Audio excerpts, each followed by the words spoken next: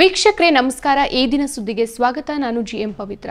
ರಾಜ್ಯದ ದಲಿತ ಚಳುವಳಿಯ ನಾಯಕ, ಹಿರಿಯ ಸಾಹಿತಿ ಕೋಟಿಗಾನಹಳ್ಳಿ ರಾಮಯ್ಯ ಅವರ ಮೇಲೆ ಮಾರಣಾಂತಿಕ ಹಲ್ಲೆ ನಡೆದಿರುವ ಆಘಾತಕಾರಿ ಘಟನೆ ಕೋಲಾರದ ಅಂತರಗಂಗೆ ಬಳಿ ನಡೆದಿದೆ. ಅಂತರಗಂಗೆ ಬೆಟ್ಟದ ಪಾಪರಾಜನಹಳ್ಳಿ ಗ್ರಾಮದ ದೇವಸ್ಥಾನದಲ್ಲಿ ಜೋರು ಧ್ವನಿಯಲ್ಲಿ ಮೈಕ್ ಹಾಕಲಾಗಿತ್ತು. ಮೈಕ್ ಶಬ್ದವನ್ನ ಕಡಿಮೆ ಮಾಡುವಂತೆ ರಾಮಯ್ಯ ಹೇಳಿದ್ದಾರೆ. ಅಷ್ಟಕ್ಕೆ ವಿಚಲಿತಗೊಂಡು ದುಷ್ಕರ್ಮಿಗಳು ಇವರ ಮೇಲೆ ಹಲ್ಲೆ ನಡೆಸಿದ್ದಾರೆ.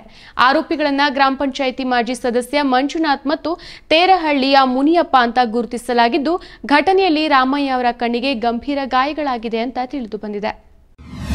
ಮುಖ್ಯಮಂತ್ರಿ ಸಿದ್ದರಾಮಯ್ಯ ಅವರ ವಿರುದ್ಧ ಬಿಜೆಪಿ ಸುಳ್ಳು ಸುದ್ದಿಗಳನ್ನು ಸೃಷ್ಟಿಸಿ ಅಪಪ್ರಚಾರ ಮಾಡಿ ಸಾಮಾಜಿಕ ಜಾಲತಾಣಗಳಲ್ಲಿ ಪ್ರಸಾರ ಮಾಡಿದೆ ಅಂತ ಕಾಂಗ್ರೆಸ್ ಆರೋಪಿಸಿದೆ.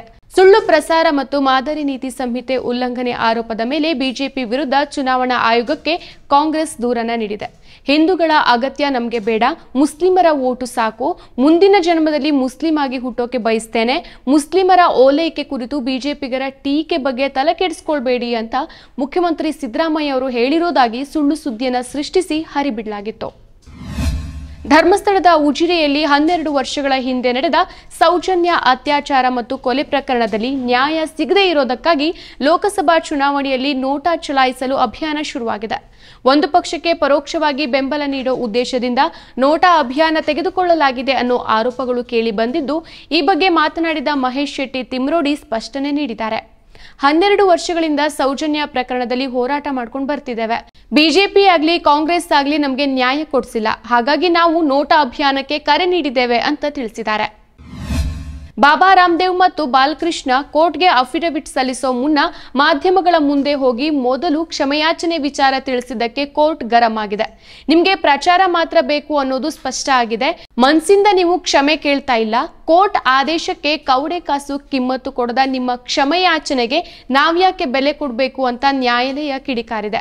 ಅಷ್ಟೇ ಅಲ್ಲದೆ ಪತಂಜಲಿಯಿಂದ ದಾರಿ ತಪ್ಪಿಸುವಂತಹ ಜಾಹೀರಾತು ಬರ್ತಿದ್ರೂ ಕೂಡ ಕೇಂದ್ರ ಸರ್ಕಾರ ಮತ್ತು ಉತ್ತರಾಖಂಡ್ ಅಧಿಕಾರಿಗಳು ಯಾಕೆ ಕ್ರಮವನ್ನ ಕೈಗೊಳ್ತಾ ಇಲ್ಲ ಅಂತ ನ್ಯಾಯಾಲಯ ಪ್ರಶ್ನಿಸಿದೆ.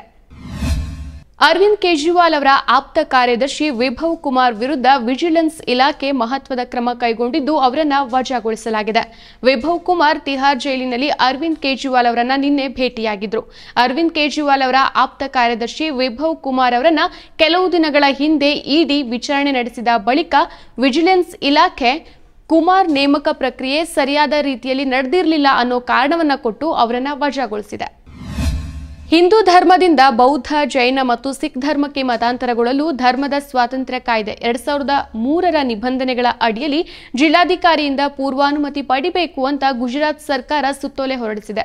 ಗುಜರಾತ್ನಲ್ಲಿ ಪ್ರತಿ ವರ್ಷ ದಸರಾ ಮತ್ತು ಇತರ ಹಬ್ಬಗಳ ಸಮಯದಲ್ಲಿ ಹೆಚ್ಚಾಗಿ ದಲಿತರು ಸಾಮೂಹಿಕವಾಗಿ ಬೌದ್ಧ ಧರ್ಮದ ದೀಕ್ಷೆಯನ್ನು ಸ್ವೀಕರಿಸುತ್ತಾರೆ ಅವರೆಲ್ಲರೂ ಕೂಡ ಹಿಂದೂ ಧರ್ಮದಲ್ಲಿನ ಜಾತೀಯತೆ, ಅಸ್ಪೃಶ್ಯತೆ, ಜಾತಿ ದೌರ್ಜನ್ಯದಿಂದ ಬೇಸತ್ತು ಬೌದ್ಧ ಧರ್ಮ ಸೇರ್ತಾರೆ ಅನ್ನೋದು ಇಲ್ಲಿ ಗಮನಾರ್ಹ. ದೇಶಕ್ಕಾಗಿ ರಕ್ತ ಹರಿಸಲು ಸಿದ್ಧ, ಆದರೆ ಎನ್ಆರ್ಸಿ, ಸಿಎಎ ಜಾರಿಯಾಗಲು ಬಿಡೋದಿಲ್ಲ ಅಂತ ಪಶ್ಚಿಮ ಬಂಗಾಳ ಮುಖ್ಯಮಂತ್ರಿ ಮಮತಾ ಬ್ಯಾನರ್ಜಿ ಹೇಳಿದ್ದಾರೆ. ಈದ್ ಪ್ರಾರ್ಥನೆಯಲ್ಲಿ ಮಾತನಾಡಿದ ಅವರು, ನಾವು ದೇಶಕ್ಕಾಗಿ ರಕ್ತ ಹರಿಸಲು ಸಿದ್ಧರಿದ್ದೇವೆ, ಆದರೆ ಹಿಂಸೆಯನ್ನ ಸಹಿಸೋದಿಲ್ಲ. ದೇಶಕ್ಕಾಗಿ ಏಕರೂಪ ನಾಗರಿಕ ಸಂಹಿತೆ ಸ್ವೀಕಾರಕ್ಕೆ ಅರ್ಹವಲ್ಲ. ನಾವು ಎಲ್ಲಾ ಧರ್ಮಗಳಲ್ಲಿ ಸಾಮರಸ್ಯವನ್ನ ಬಯಸ್ತೇವೆ. ನಾವು ಒಗ್ಗಟ್ಟಿನಿಂದ ಬದುಕಿದ್ರೆ ಯಾರು ನಮಗೆ ಹಾನಿ ಮಾಡೋಕೆ ಸಾಧ್ಯ ಆಗೋದಿಲ್ಲ. ಆದರೆ ರಾಜ್ಯದಲ್ಲಿ ಬಿಜೆಪಿ ಕೋಮು ಗಲಭೆಗೆ ಪ್ರಚೋದನೆ ನೀಡ್ತಾ ಇದೆ ಅಂತ ಆಕ್ರೋಶ ವ್ಯಕ್ತಪಡಿಸಿದ್ದಾರೆ. ಟೀಂ ಇಂಡಿಯಾದ ಮಾಜಿ ಕ್ಯಾಪ್ಟನ್ ಎಂಎಸ್ ಧೋನಿಯವರ ಮಾಜಿ ಬಿಸ್ನೆಸ್ ಪಾರ್ಟ್ನರ್ ಮಿಹಿರ್ ದಿವಾಕರ್ ಅವರನ್ನು ಪೊಲೀಸರು ಬಂಧಿಸಿದ್ದಾರೆ. ರಾಂಚಿ ಜಿಲ್ಲಾ ನ್ಯಾಯಾಲಯದಲ್ಲಿ Arka sports management private limited ವಿರುದ್ಧ ಧೋನಿ ದೂರನ್ನು ದಾಖಲಿಸಿದ್ರು. ಮಿಹಿರ್ ದಿವಾಕರ್ ಮತ್ತು ಸೌಮ್ಯ ದಾಸ್ ಈ ಕಂಪನಿಯ ನಿರ್ದೇಶಕರಾಗಿದ್ದು, ಜೈಪುರದಲ್ಲಿ ಕ್ರಿಕೆಟ್ ಅಕಾಡೆಮಿ ತೆರೆಯಲು ಧೋನಿ ಅವರ ಹೆಸರನ್ನ ದುರ್ಬಳಕೆ ಮಾಡಿಕೊಂಡಿದ್ದಕ್ಕಾಗಿ ಜೈಪುರ ಪೊಲೀಸರು ದಿವಾಕರ್ ಅವರನ್ನು ಬಂಧಿಸಿದ್ದಾರೆ. ಹಿಮಗಡ್ಡೆ ಕರಗಿದ ಪರಿಣಾಮ ಇದೀಗ ರಷ್ಯಾ ಮತ್ತು ಕಜಕಿಸ್ತಾನದಲ್ಲಿ ಪ್ರವಾಹ ಉಂಟಾಗಿದೆ.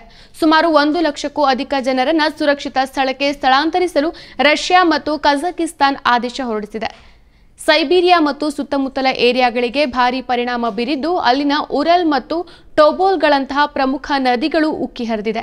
ನೀರಿನ ರಭಸದಿಂದ ಅಲ್ಲಿನ ಒಂದು ಅಣೆಕಟ್ಟು ಕೂಡ ಒಡೆದು ಹೋಗಿದ್ದು, ಹತ್ತಿರದ ನಗರಗಳಿಗೂ ಸಹ ನೀರು ನುಗ್ಗಿದೆ. ಹರಿಯಾಣದಲ್ಲಿ ನಲವತ್ತು ವಿದ್ಯಾರ್ಥಿಗಳಿದ್ದ ಶಾಲಾ ಬಸ್ ಪಲ್ಟಿಯಾಗಿ ಆರು ಮಕ್ಕಳು ಸಾವನ್ನಪ್ಪಿದ್ದಾರೆ ಅನ್ನೋ ಮಾಹಿತಿ ಲಭ್ಯವಾಗಿದೆ. ಮಹೇಂದ್ರಗಢ ಜಿಲ್ಲೆಯ ಕನೀನಾ ದಾದ್ರಿ ರಸ್ತೆಯಲ್ಲಿ ಇಂದು ಮುಂಜಾನೆ ಸಂಭವಿಸಿದ ಭೀಕರ ರಸ್ತೆ ಅಪಘಾತದಲ್ಲಿ ಖಾಸಗಿ ಶಾಲಾ ಬಸ್ ನಿಯಂತ್ರಣ ತಪ್ಪಿ ಪಲ್ಟಿಯಾಗಿದ್ದು, ಚಾಲಕ ಓವರ್ಟೇಕ್ ಮಾಡಿದ್ದೇ ಅಪಘಾತಕ್ಕೆ ಕಾರಣ ಅಂತ ಗೊತ್ತಾಗಿದೆ. ಅಚ್ಚರಿಯ ಸಂಗತಿ ಏನು ಅಂತಂದ್ರೆ, ಸರ್ಕಾರಿ ರಜೆ ಇದ್ರೂ ಕೂಡ ಶಾಲೆ ಓಪನ್ ಇತ್ತು ಅನ್ನೋದು. ಮಾಹಿತಿಯ ನಂತರ ಪೊಲೀಸ್ ಮತ್ತು ಆಡಳಿತ ಉನ್ನತ ಅಧಿಕಾರಿಗಳು ಸ್ಥಳಕ್ಕೆ ಆಗಮಿಸಿ ಪರಿಶೀಲನೆ ನಡೆಸಿದ್ದಾರೆ. ವೀಕ್ಷಕರೇ ನೋಡ್ತಿರಲ್ವಾ, ಇದಾಗಿತ್ತು ಇವತ್ತಿನ ಈ ದಿನ ಸುದ್ದಿ. ನೈಜ ಸುದ್ದಿಗಳಿಗಾಗಿ ನೋಡ್ತಾ ಇರಿ ಈ ದಿನ ಡಾಟ್ ಕಾಮ್. ಇದು ಸತ್ಯ, ನ್ಯಾಯ, ಪ್ರೀತಿಯ ಧ್ವನಿ.